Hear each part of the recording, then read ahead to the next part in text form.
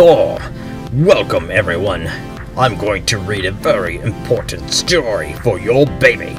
It's called Rocket Science for Babies. This is by Chris Furry. Furry. I don't know how to say his last name. It's about rocket science. It's that's what we do. We teach rocket science to babies on Asgard.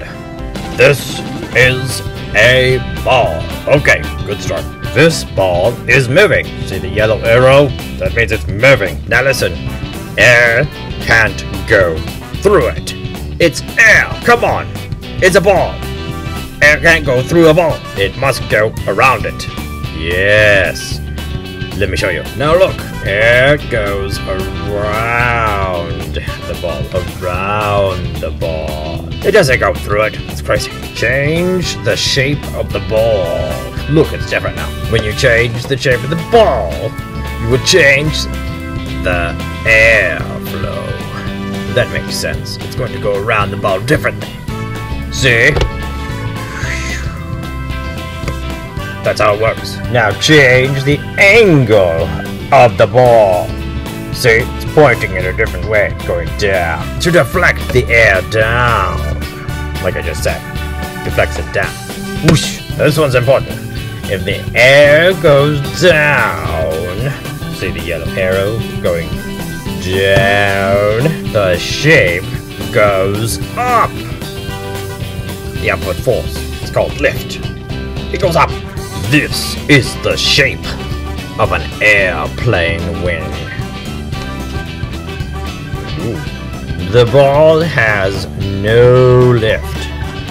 No lift. No, no, no, no. No lift. That means no. Nein. No. Zilch. No way.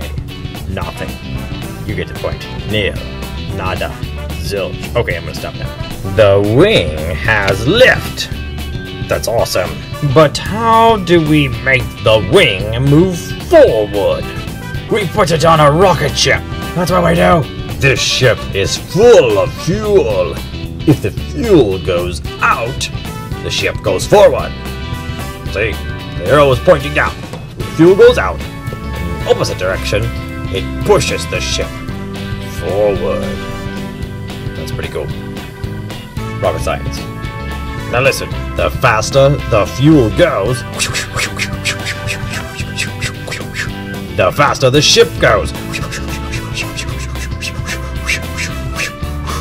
So, we make it explode!